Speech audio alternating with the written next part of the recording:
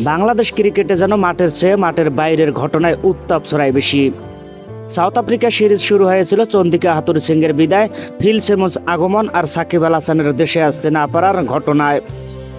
সেই আগুনে ঘি ঢেলেছে তিন ফরম্যাটের অধিনায়কত্ব থেকে নাজমুল হোসেন শান্তর সরতে চাওয়ার সিদ্ধান্ত।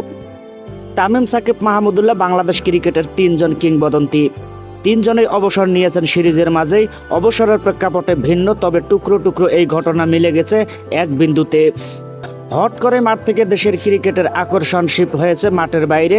বাস্তবে এটাই বাংলাদেশ ক্রিকেটের নিত্যচিত্র। বাইশ গজের চেয়ে বাউন্ডারির বাইরের খেলায় যেন বেশি বাংলাদেশের ক্রিকেট ভক্তরা।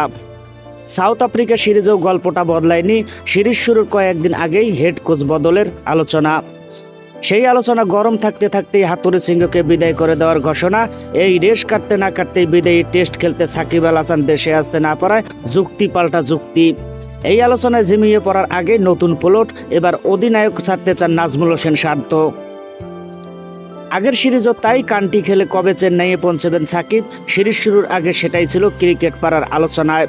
কানপুর টেস্টের আগে বিদায়ের ঘোষণা দিয়ে পুরো লাইমলাইট ততক্ষণে বিশ্বসেরা অলরাউন্ডারের দিকে টি টোয়েন্টি সিরিজে সেই আলো গায়ে মেখেছেন মাহমুদুল্লাহ রিয়াদও। পাকিস্তানের সিরিজ জয়ের সময় গল্পের বদল আসেনি, বোর্ড সভাপতি বদল, নিত্য আলোচনা।